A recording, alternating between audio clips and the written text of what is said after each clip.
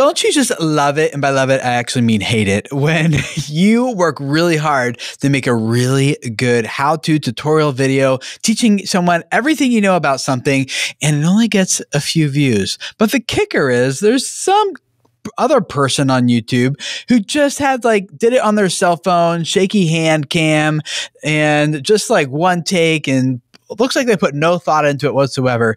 And they are consistently all day long outranking your beautifully crafted how to video. Why is that? And what can you do with your how to content going forward to get more views, more subscribers, and grow the business around your channel that you are growing? All of that and way more coming up in this episode. Hey, welcome to the Video Creators Podcast presented by vidIQ. You know how you put a lot of time and energy into your YouTube channel for not nearly enough growth? Yep, we get it. We are here today to help you change that. Hello, creators. How are you guys? It's great to see you again for another Video Creators Podcast episode like we do here every week, just to help you grow your YouTube audience, grow your channel, grow the business that you are growing around your channel so you can continue to reach more people and change their lives with the message that you are spreading. And we are very excited to do that with you here today. I'm hanging out with Sam and Ingrid, two of the YouTube strategists here in our team at Video Creators. Hello, Sam. How are you doing this this week? Howdy. I'm doing pretty good. Good. How about you? And Ingrid? I'm I'm doing great. I'm about to go on vacation. So I was going to say, you're going to Jamaica, right? That's right. Sandy. Usually, leading up to vacation is like not doing great. It's like stress, stress, no. stress, stress, yeah. so I can take a vacation. Yes, yes, I would agree with that. My week has kind of been a little bit like that, but that's okay because I see the light at the end of the tunnel. Almost there. And the light isn't an oncoming train, right? no, it's not.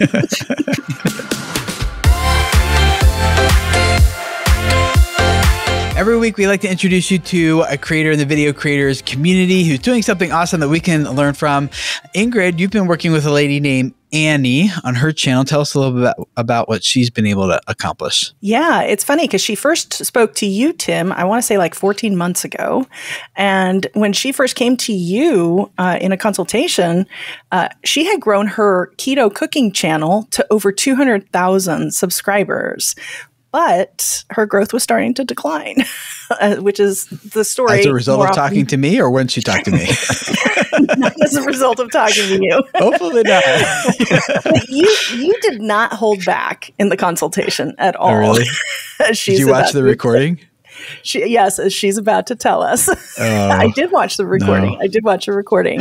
But as a result uh, of you really giving her the unfiltered version of Ouch. what's kind of holding her back a little bit, um, she decided to work more closely with us. And that is where she decided to work with me one on one in the action plan. And we continued to work on a long term basis, which was really kind of cool because she learned how to effectively tell storytelling in her how to content to massive results. And mm. I think everybody's going to really enjoy the story. When you first came and you talked to Tim in a consultation, where were you at in your creator journey? Give us a little bit about your story.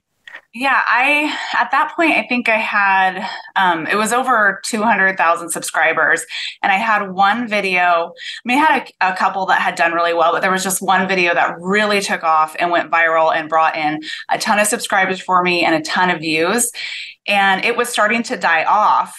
And it, I mean, it went for a long time. It brought in so many subscribers and um, dollars and views for almost a year, but it was starting to kind of die off as more and more people saw it, and it wasn't doing as good. And I didn't know how to replicate that, so I reached out to Tim and had a one-on-one consultation with him and it was really interesting like he he took like a deep dive into all my videos and watched them and he was like he told me that my videos were boring. Like he's like you have no personality in there. And that kind of shocked me because i was just like oh I, like i didn't realize that there was like there was none of me like showing through.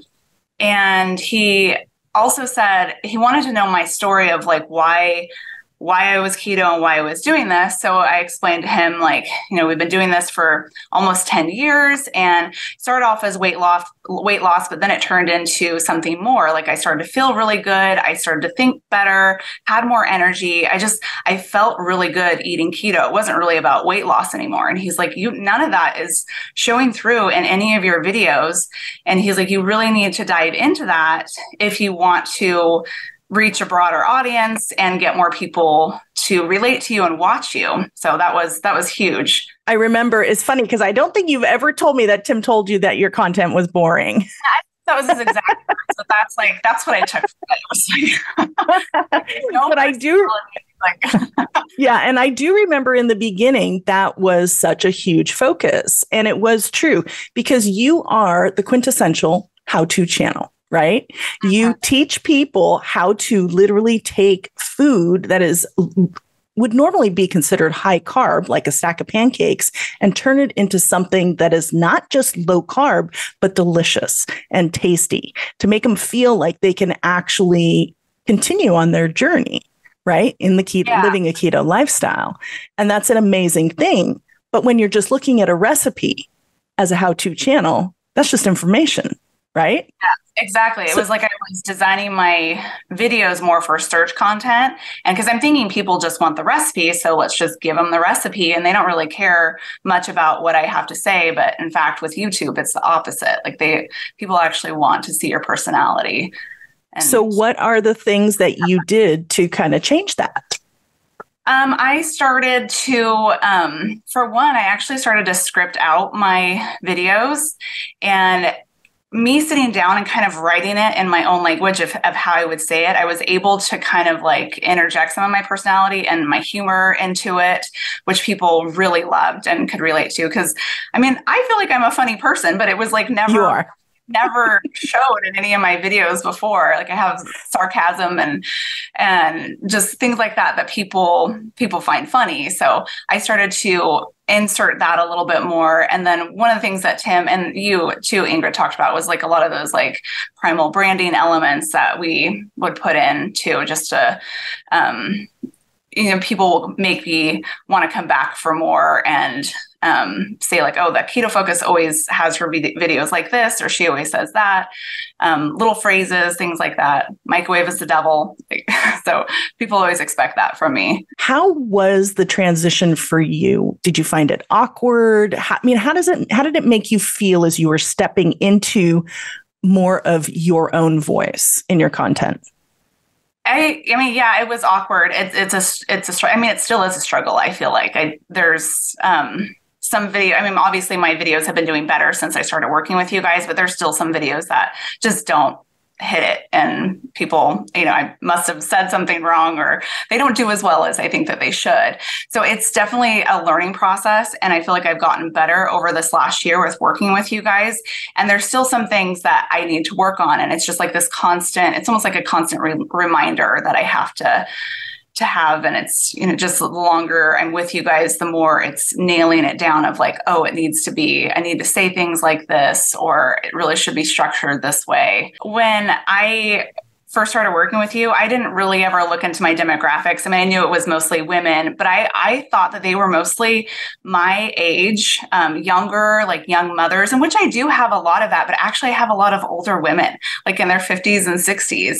And so a lot of them, they're maybe empty nesters. And I really dived into their struggle because as I started showing more of my personality and some of my struggles and issues with the keto diet, especially with finding that it like I always was afraid to tell people that you know you you don't have to be 100% clean keto all the time because i thought people would just say oh i'm not going to watch you. Like how dare you tell people that they could eat um, have a, tr- a, treat meal or a cheat meal every once in a while.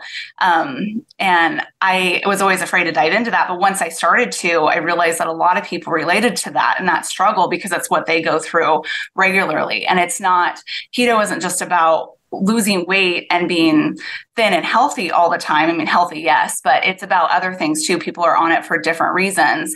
How did all those results that you have experienced on on the channel and in your business make you feel? Oh, really good. I'm yeah, I'm super excited to see just it's like all the numbers are growing or doubling in some cases and it's it's been great. It was really the thing that I needed to bring life back into my channel. So if you had one thing that you could one piece of advice that you could give our audience, you know, on staying with it as a creator or maybe even potentially coming and working with us, what would that thing be? I think the biggest change for me that I did as a creator was really showing myself a little bit more, like more of my personality and building that community. And once I saw what my audience wanted and started to provide more of that, then it just seems like it kind of snowballed and and um, I, I, like I love the, all the engagement that, and all the comments that I get from people now because I used to not really get too many, but now I get a lot more. And all of that was because of video creators, because of them encouraging me to try different things and and um, do these techniques and strategies. It's been really, really helpful. And to have a sounding board too with going to you and asking about thumbnail ideas, ideas or titles, um, video ideas is is really great to have a partner. I love that Annie got good results I'm. I want to go back and watch that recording now. See uh, how how heavy hand. I'm not usually heavy handed, but um, I guess it could come across that way. Interesting. Um, well, I'm also self-conscious about, about, this. Your one. content is like your baby, and if anybody's telling you anything other than it's perfect, I know your uh, your baby's ugly. Well, I'm glad it worked out well. I, I, know some people love uh, unfiltered advice. Usually, I'm like, these things are going well. Here's some things to consider, as opposed to my goodness, face palm. This is like, whoo. but anyway, I'm glad it worked out. I'm glad it worked out well for her, and uh, that she's having success today. If you are interested in talking with us about what an engagement with you could look like and how we can help you reach your goals on YouTube and grow your business and grow your channel, we'd love to talk with you. You can go to videocreators.com slash discovery call and book a 15 minute session where you'll talk with one of us on the team. I think Blake is doing many of them right now. So you will likely get Blake. He's awesome. You'll love talking with him. Uh, ask him to change the color in his background to whatever color you want for your meeting. he doesn't know I said that. So it'll be a little surprise, but just roll with it because it's something we do in our team meetings with him every week. so um, do that. That'll be fun. But go to videocreators.com slash discovery call, schedule a 15 minute session. And we just want to hear your story, hear where, where you're at with your channel, what your goals are, and then just let you know, like, here's how we can help you. This is what it could look like. And then you can choose from there if it's what you need or not. And uh, we just want the opportunity to, to just kind of hang out a little bit and see how we can help. So videocreators.com slash discovery call.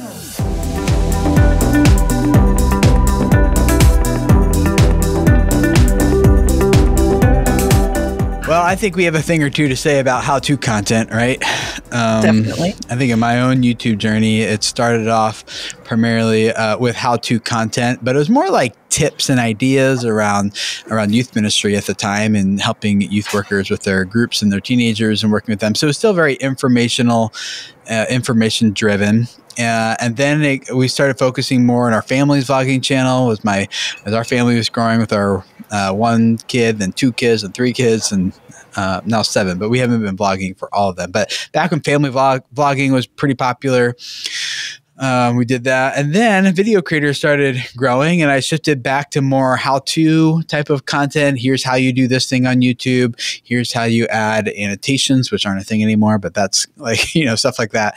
And and then we've been transitioning into storytelling and then mixing storytelling and how to content together. So I think um, we've seen it all here uh, I haven't done any music videos yet, so maybe I haven't I haven't done all of it yet. I don't think anyone wants yeah. me to do a music video. but Sam might have you covered there. yeah, maybe. Yeah, we'll Sam does. Yeah, you're just gonna tell me it's boring though. So, Sam, your content's boring. boring. I think not really. No, I like your content, especially the shorts that pop up. I'm like, oh hey, I know that guy. All right, but there you go. Um, Ingrid, when we start thinking about how do we make how to content that performs, because there's a lot of it out mm-hmm. there, right? Um, how, what do we, where do we start with, with evaluating competition or just like, yeah, where do we go? Well, I think that one of the things we work with a lot of how to channels too. Um, one of the questions that I always find myself asking is what makes this different from somebody else, right? When you think of all your competition, what sets you apart? Um, you know, Tim, you like to talk a lot about blue ocean and red ocean theory, right, in business. I think it also kind of applies to to content and your competition. Yeah, for people who don't know blue ocean, red ocean, it's like red Ocean's where all the sharks are swimming. There's a lot of blood in the water because everyone's competing. Blue ocean is where there's no blood in the water because you're the only shark, you know, in the in that water, I suppose. And I think yeah. of like a lot of people who probably started on YouTube a ways back. That very well might have been true, mm-hmm. right? They were There's the still blue oceans on YouTube, but but it, the blue ocean comes more like oh it's never been presented this way before as mm-hmm. opposed to no one's ever presented that before that thing yeah yeah and i also tell a lot of creators too because i find especially when they're a little on the newer side of their journey maybe haven't been on the platform for 10 years um, they have a tendency to say well my this worked for my competitor so I'm going to do that. So that doesn't really work. Um, only you can really do you. you know, uh, your competition, they have their thing that they do really well. You've got to find that thing that really sets you apart and find the voice um, that you have around your topic. Yeah. Sam, there's a lot of creators who do how to content, and it seems like it's pretty typical that they'll get one video or two maybe and like oh wow that one got a lot of hits you know like the one about maybe how i fixed my how, how to fix a lawnmower right or or something that one's got millions but the rest of them only have a couple hundred views when you have a few hits but the growth isn't consistent maybe where where are some places to start Man, that's such a good question. I feel like there's so Why, many directions you. you could go. there's so many directions you could go. I, I feel like, uh, well, honestly, the first question that pops into my head, if I if I see that, is usually traffic sources. Like, where is the traffic usually coming from? You know, if you have one video that completely blows up, and it's just kind of this roller coaster ride of, you know, it's you have no no bearing on is this one going to get a gajillion views or is it going to just be dead in the water? Um, usually I'm curious to see, you know, are most people searching for this thing and then they watch it and then they never come back because they just got what they came for and there was no reason for them to stick around? Or are they seeing this on the homepage and they may kind of more voluntarily click on it due to some intrigue or something like that? I think that's where titles and thumbnails really come into play. Those can be really important to create that level of intrigue to get somebody to click in kind of with this expectation of like, oh, this was interesting, versus oh, I got a quick problem, I got to fix it, and then I get what I came for, and then I leave right away, sort of a thing. Yeah, if you're getting a lot of traffic from search, that's good. That's fine. But typically, your average view duration is going to be shorter than if it came from homepage or suggested. And so, if you're trying to get the most amount of watch time to grow the video, uh, search might not be the best traffic source. Now, a lot of how-to content can be found in in search, but you're also, to your point, um, Ingrid, there's a lot of competition. It's like the first 10 results or something maybe right um, as opposed to making a how-to video that's more discoverable and suggested or on the homepage or some sort of recommendations feature on YouTube, then you could potentially not only get better average view durations per viewer, but get surface to people who aren't even searching for your content, right? Yeah. And uh, people who watch one how-to video and want to learn about this thing, and then maybe you're not the first video they watch, but you might be video two, three, four, or five in that in that session, and by that time they are giving you a lot more uh, watch time uh, than the person who just quickly clicked on the first one and skipped ahead and then abandoned it. So, um, yeah, I think if you're getting a lot of traffic from search, uh, that's that's to be expected on how-to content. But I do think that most people making how-to content focus on search, and thus it kind of becomes a self-fulfilling prophecy, as opposed to making how-to content that could be surfaced elsewhere through other dis- discovery mechanisms on YouTube. What do you think, Ingrid? What else would you poke at well, um, to try to help that content? Just to kind of piggyback on that, also is I find that when you're crafting for search, you're crafting your video differently. Also, right, right, very sterile usually. very like, much like we talked what about. Some Annie, people might Annie call boring, earlier, but not me. Right? some we people. About, don't get and don't get me wrong, because her content is amazing. She's very skillful at what she does, but it removed so much of the personality know, from yeah. it, and that was yep. the problem. Yep. Right. So I feel like you know, search has value, and search definitely has value too, especially if you're a, a, smaller channel that maybe doesn't have as many data points, and you can maybe get into that search feed to where you have some recent content that might get clicked in and start getting some data points, but it's only going to get you so far. That's such a good point. Like the personality, you know, points the the connection points that that stick out as a viewer. Like i just was thinking i don't know about you guys but i was just thinking about the people i'm subscribed to or the people that i tend to watch over and over again. And a lot of them are actually how to channels. Um, but those people in particular i keep watching them because i feel like i've connected to them on some personal level. Like it wasn't just about the right. information. The thing that kept got me to keep coming back was uh, those personal touch points um, and that even makes me think, you know, if, if you are if you have a how-to channel and you've noticed that you have some of these videos that are performing super super well, you could even look into your data and maybe you're noticing some patterns in those particular videos. You might even notice if you look in your retention graphs or anything like that, you know, maybe the videos that are performing super well, maybe you have some personal touch points in there. Maybe you shared some of your primal branding or some creation story, you know, some bits about yourself and they're performing because of that. So just to piggyback on that, I think another way that you can kind of pinpoint kind of what's happening here if you have some high performers is you may have even unintentionally created some of those connection points. Right. And I feel like a lot of how to channels too, um, they get nervous, the creators, when you start to recommend that they work in personal, some personal connections, because it's all about the, you know, the recipe or, you know, the art or the YouTube strategy. What does my story have to do with it yeah. at all? Well, that's yeah. exactly right? the story I was kind of alluding to in the beginning that I didn't go fully into, but or actually at all into the. Uh, the I, I actually did a session this was several years ago now with a channel that had done uh, posted very regularly, very consistently for a year, one video a week.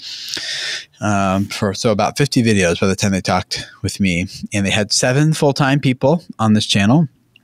They all had Hollywood television production uh, backgrounds. It was a uh, it was a vegan channel, and they met, they were recording in a commercial kitchen with a paid actress um, who was vegan and everything. And I mean, I'm watching this this content prepping for the session, and I'm not vegan, but I'm like, I could eat that.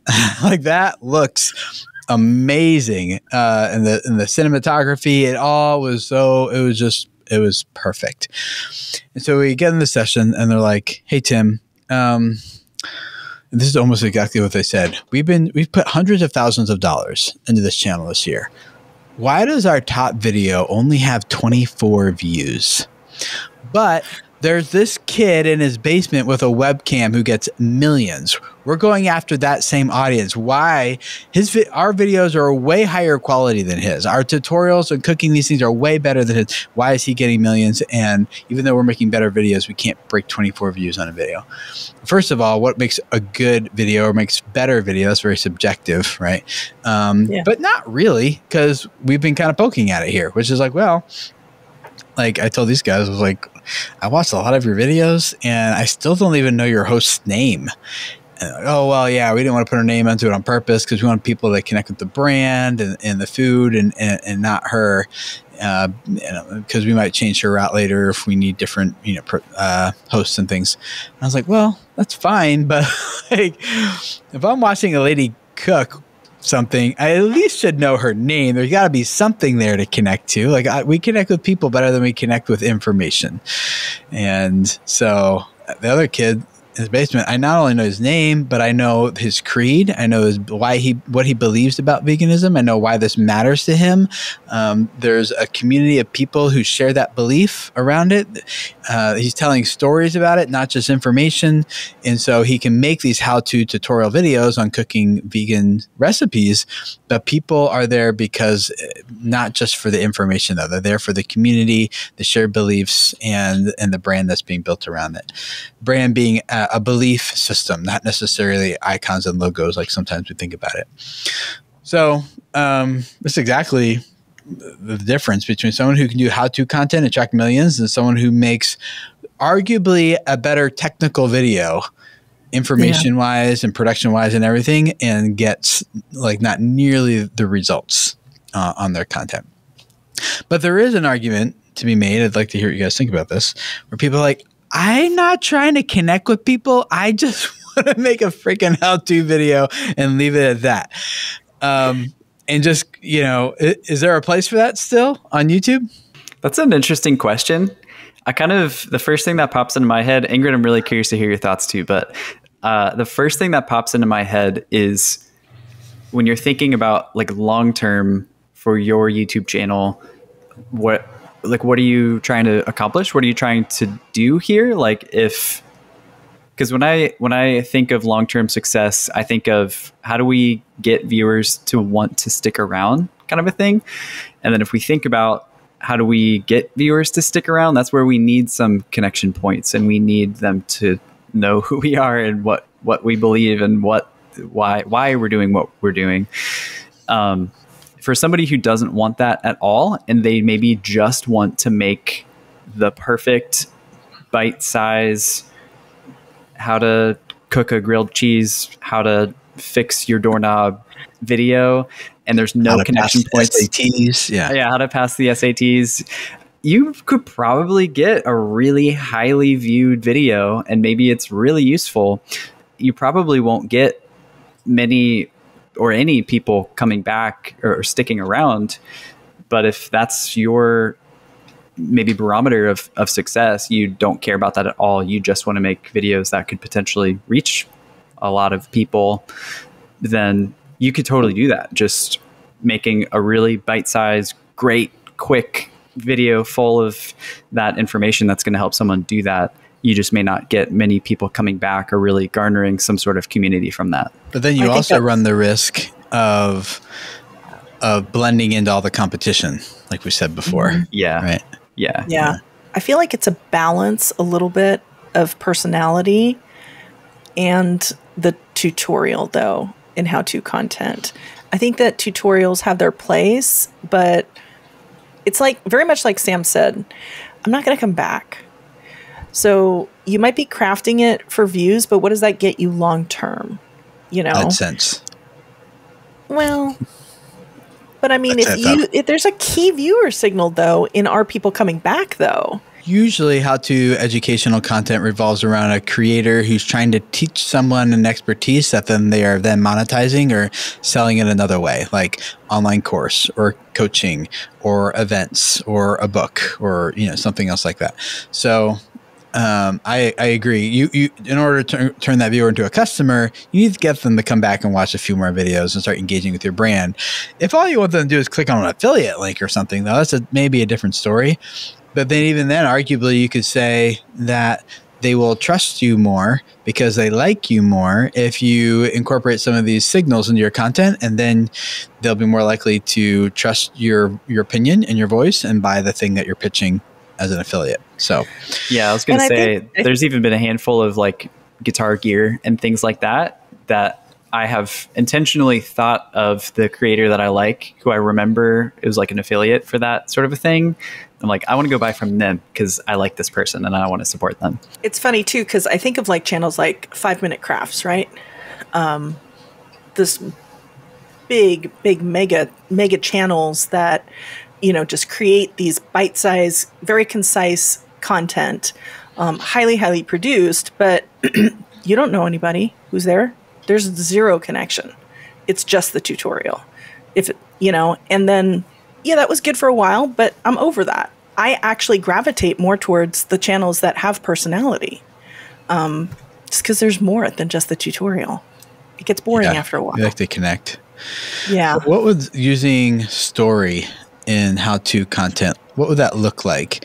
What, what does it look like to use story inside a tutorial? Yeah, I think there's I a handful of ways you could do it.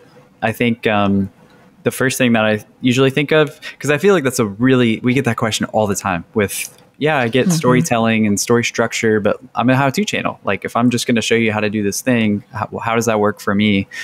But I think you can shoot your video pretty much the same way you would have done it in the first place. But if you just slightly change the perspective a little bit and how you're setting the video up, um, and it's more of a kind of instead of it being watch me do this, it's kind of like a do this with me. Like, come with me as we cook this thing or fix this thing and we're kind of doing it together you can still nail all the same points of first you you know we're fixing a doorknob today you know do the first hole here and do the nail here and you know you can still lean into those same points but there's there's already more of a connection there when the viewer is able to kind of come alongside you as you're doing this thing and like experience some sort of transformation that ultimately will or won't happen by the end of the video that you're already connecting more just by reposturing how the video is framed versus just all right watch me today we're going to do this thing and then you just go through it real quick and then you're done. So i cut you off ingrid. What, what were you going to say Oh, you're good. I was just going to say that I feel story 100% belongs in tutorials. Yeah. um, but it doesn't have to be some epic big story. Mm-hmm. you know, it can right. just literally be just the tension. You know, what is the problem? What is the frustration? And dipping into that first before revealing the solution. Um, something as simple as that actually moves people. And, You know, we see it all the time in graphs. It moves people forward in the content um, versus them abandoning it. Yeah, just as maybe as simple as saying, I want blank, but yes, I can't, or I don't know, or this obstacle. So let's find out, right? And I, so you could just, I've used this example before, but instead of, uh, I've used it again, I guess, in this episode too, where instead of making the tutorial video about how to build a a dresser, you just say, My wife hates this dresser and she wants one that looks like this. She's out of town this weekend and I just wanted to see could I build a dresser that looks like this instead before she gets home? I don't know, but let's find out. And then it's the whole tutorial, right? But now you're watching not just for the t- not just to learn how to build a dresser, but you want to see what the wife's reaction is going to be when she comes home. So simple, just two sentences in the beginning of character. Who, who's the character? I, and then desire, want, and then number three is obstacles. I want this, but so then you have a but. So the adlib is I want blank, but obstacle. So what are you going to try going forward here? Let's see if we, we can do it. That might not for, fit in every single video, but you get the idea that there's pretty fairly simple ways. Um, like uh, this guy Dan, I did a session with uh, years ago, drawing tutorial channel. Instead of just saying here's how you draw a human like face and blend into the competition the um, i think he opened it up the content saying my wife just says she can't draw faces um, and I forget what else. It was something like that. I, why is and, and, maybe you feel that way too. Here's what she did. Relatable. First, yeah. and then after only one thing after one attempt she tried it this way and here's her sec- so second result so i think if i remember he was showing teaching the transformation of the mm-hmm. of the mm-hmm. character in the very beginning of this tutorial of how to draw a face. And instead of getting about ten to twenty thousand views like he normally gets, he got the last time I looked at it, um, they went up to like eight hundred thousand views fairly quickly and uh, the title and thumbnail were both it was a tutorial video but it was teasing the transformation of how to draw a human looking a, a face that looks human uh, with one simple tweak or something like that. So you know i think that's something right that's also important too is you you just talked about titles and thumbnails tim. Um, when you have a tutorial too you're starting, you're teasing the problem, right? The frustration a little bit, and what's the value that I'm going to get. Maybe you're even showing the transformation, but you can't reveal that too early in the content either. Because once you give your audience what they have, they're going to go. Well, it depends on what it is. In the drawing example, it's a this was attempt number one. This is attempt mm-hmm. number two in the thumbnail. Oh my gosh. Sure. How did they go from attempt number one? How did attempt number two get so bet so much better? And that's yeah. the intrigue. But yeah, if the intrigue yeah. is all revolving around the result of how do I get there, um, I think I think yeah, that totally makes sense. But you can make the the uh, the intrigue revolve around other things too, like the how do they do that? Yeah, I think it's important that we just at least admit that information only gets us so far, right? Um, feel like I'm going to toot my own horn here a little bit, but I think the story makes sense. uh, I was uh, watching a TED talk last week, and this guy, this physician, was like working in a hospital, and they're trying to address some of the mortality rates that they were that they're having in the birthing center, and and so they tried doing all these different things. They tried putting together better uh, checklists for physicians and nurses to follow. Um, they got them better equipment. Um, that didn't really have an impact. They started hosting classes that were mandatory for these people to come to. That didn't really make a difference. Um, and then they decided to take a totally different approach and they instead um, hired and trained 400 coaches birthing coaches.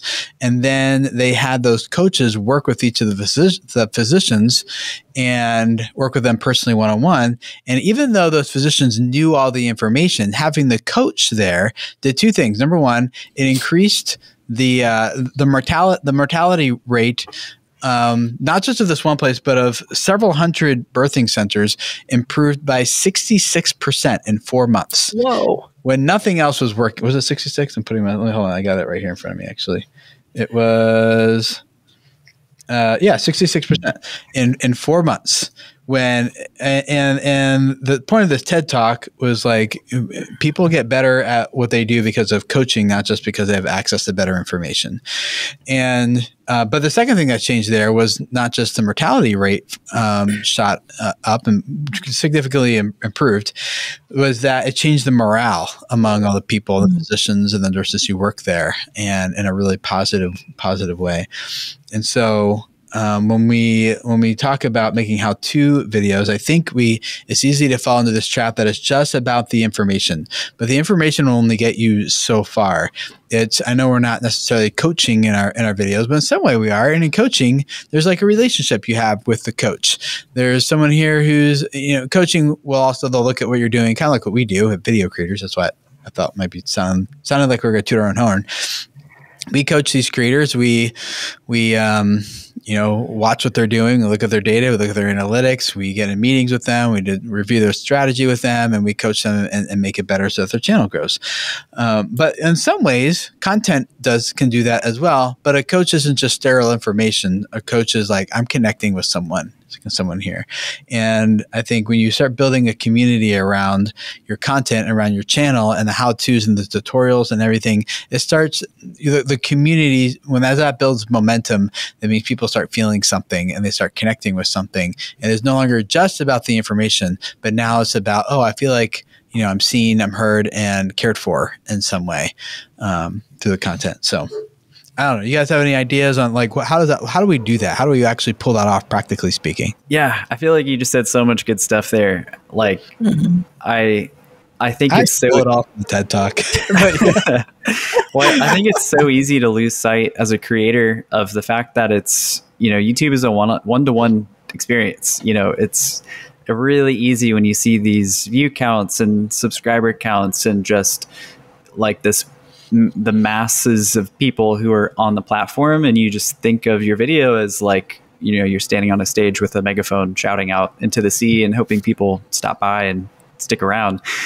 But like the idea of coaching is so interesting when it comes from from the creator to viewer relationship because it is a one on one to one experience. Every single view is is a one to one view. And so uh, that may be a good practical first step if if that's a maybe for someone listening and that's kind of a new realization for you that you can speak directly to the person. I know a lot of creators, it's kind of become like YouTuber lingo. I feel like to open the video and be like, "Hey, everybody! Hey, everyone!" You know. But if you use more like you language, like I'm here to help you do this thing, and you're giving them real value and connecting with them in that way, I think that translates across video. I think the viewer watching feels like they're helping me right now in my circumstance and my problem with whatever I'm trying to accomplish right now.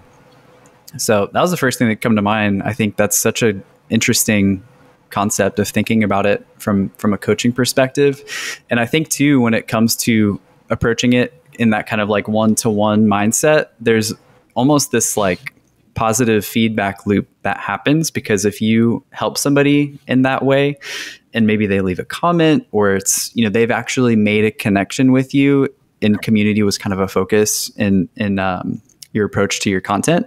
And they connected and maybe left a comment and was like i totally resonated with what you said about x y and z you know whatever you said in your video. It kind of creates this positive feedback loop where now as the creator you're feeling like I'm actually making a difference in somebody's life. I'm helping them actually tangibly achieve this thing. Now you feel mo- more motivated as a creator to keep going and keep finding more of these one to one kind of interactions or more people out there to to actually help. Um, so I feel like that kind of spurs you on too, just as a creator, continuing to make content. Well, and I feel too, you know, that a lot of creators on how to channels, you first start your channel with one goal and one focus, right? And it's really about you and the content. But the more voices that come and enter the picture and start leaving you con- comments, you know, um, maybe even send you emails. Maybe you do have a product off off of the platform that they take. They, like you guys were talking about, they become people, right? It's not just about the information, and you realize that your reach and the impact and the way that you can actually change lives all of a sudden kind of sometimes it's not uncommon to see that with creators that it shifts your purpose a little bit on yeah. the channel even and the content. yeah. Ingrid, what are some things that make it easier for people to connect with a creator in a how-to content? Are there any things they can do, signals they can provide that would make the viewer more quickly without like taking five minutes to like time out some YouTube person on some podcast that I had to tell you a story. So here's a quick story. Okay, back to the content. no, I would just make, you know, make your story just part of the journey, you know, and I think that really we talk about primal branding a lot. And I know we've, we've even talked about it several times today. Um, you know, just weaving in your story and just your experience even of that day. Don't, don't make your video perfect leave in mistakes is a good one because it's relatable and it's human. And if you're just showing me a perfect situation every time and then I go to do it, chances are I'm probably not going to get it perfect. And that's frustrating. So to see you kind of drop the salt, maybe, or the chocolate if you're doing a cooking thing, um, all of a sudden it humanizes you. I end up laughing and I connect with you. And chances are I'm going to probably watch a little bit more um, little things like that. And then also really asking for engagement. You know, don't be afraid to ask somebody, you know, in your content, even, especially if you're doing more of a community call to action where we're actually seeking out engagement intentionally um, asking people what what are the things that have tripped them up? What are the things that frustrates them about something? Because life is not perfect and that will spark conversation. And conversation means connection. Yeah and sharing what you believe and why. Mm-hmm. People connect yep. around that. Um, hey, we're gonna work at this together. Like, join me as I, as you were talking about, Sam. That's that's really good. Um, and uh, using other ways to keep people engaged can be really good too, like the community tab or stories and live streams and things like that. So, yeah, um, there was a time when just a straight up tutorial could do really well on YouTube, and they still can. But there's a more predictable way if your if if your goal of creating the how-to content is a form of community and get people to love what you do and not just um, uh, you know, watch what you do and kind of be like, okay, I got the information. See ya. But you want them to connect. You want them to come back. You want them to continue to engage with your with your content. Then I think doing some of these things like um, uh, storytelling, sharing your beliefs, your creed, things like that will really, really go um, a long way because um, while you might have gotten away with that in the past, YouTube's becoming more and more crowded, and there's more and more reasons why we should just uh, make sure that we are before we are trying to sell someone on something we just need them to believe in what we do. And one of the ways you get them to believe in what you do is to make it easier for them to connect with you and want to um, buy into what you're doing and what you stand for and what you believe in your story. So connection is still a big part of making tutorial videos and how tutorials work well um, information is really, really good and important, but wrapping it around a personality that people connect to you is also just as important. Each week, we like to leave you with a power tip. And this week, YouTube Studio has given us a quick snapshot of some of the most pertinent metrics on one screen, which makes it really digestible. But there's been kind of like an upgrade. We're getting it now per content type, which is amazing. And they've even added a new little card to it. The goal here is to help you more easily compare how your different content formats are performing.